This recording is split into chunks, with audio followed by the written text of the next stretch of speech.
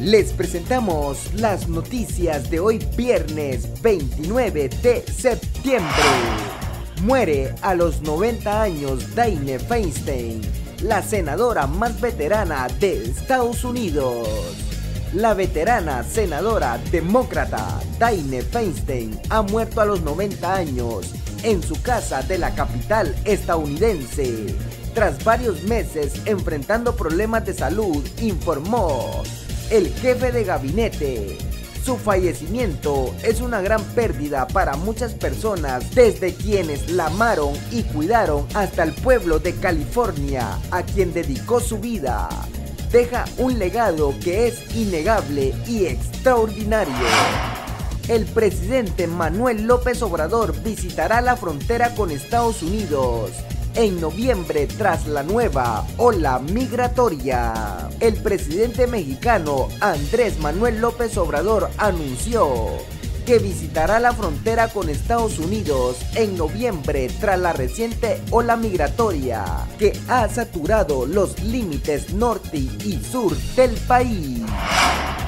Continúa la búsqueda de víctimas de tragedia en el asentamiento Dios es fiel. Este 29 de septiembre se han retomado las labores de búsqueda de víctimas de la tragedia ocurrida el lunes último en el asentamiento Dios es fiel bajo el puente El Naranjo, donde una correntada arrastró casas y familias. Según información de autoridades, al menos 10 cuerpos han sido recuperados de las 18 que fueron reportadas como desaparecidas.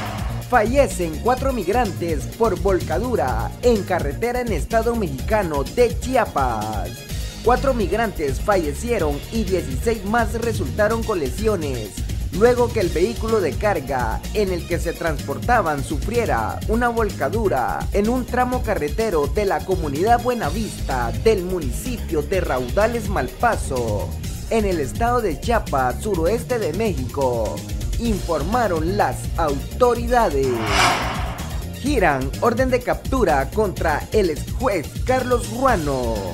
El juzgado décimo de la primera instancia penal, narcoactividad y delitos contra el ambiente giró una orden de captura contra el ex juez Carlos Giovanni Ruano Pineda.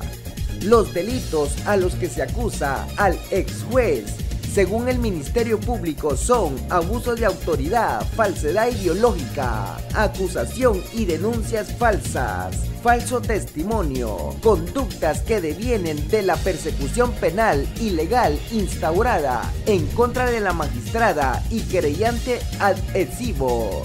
En forma provisional, Blanca Aida Styling Dávila. Para más información visita nuestra página isabalencetv.com. Informó Tali Cruz para Isabalense TV y Radio Fe Love.